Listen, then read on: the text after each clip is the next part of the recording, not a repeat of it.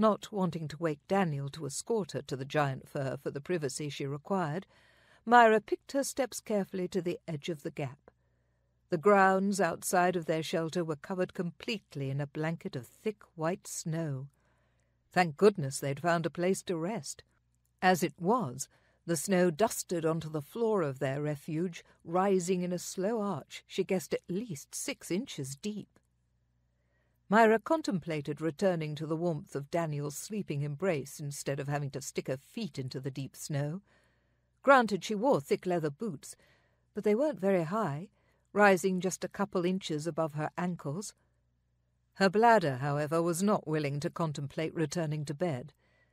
With a heavy sigh and a muttered oath, Myra plunged her foot into the snow, instantly feeling the cold through her boot. She shivered and rubbed her arms beneath her cloak, but trudged ahead. Half walking, half running, she made it to the fir tree. After finishing her business, she stood to return, but a sound stopped her.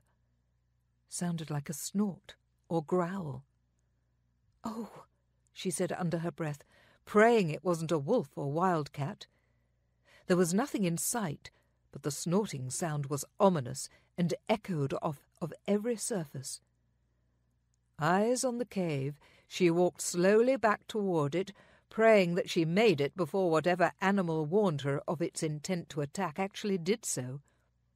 Then came the distinct roaring squeal that tore her heart from her chest and had panic setting in deep. A boar.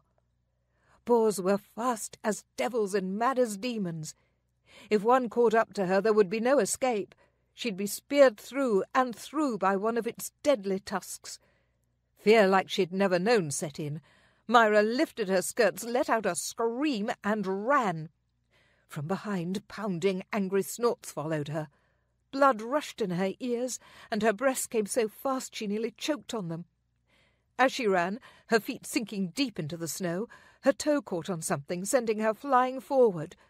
Myra landed hard on her hands and knees, sinking into the snow, but that didn't stop her from moving. To stop meant certain death. She scrambled on all fours, her hands stinging with the cold, until she was able to gain her footing. Men spilled from the mountain gap, weapons drawn. The roar that split the air from Daniel's lips was more chilling than the sounds of the wild boar that chased her. Daniel, help me, she squeaked, throat tight. Sword drawn, Daniel searched the area. His eyes immediately met hers, then looked behind her.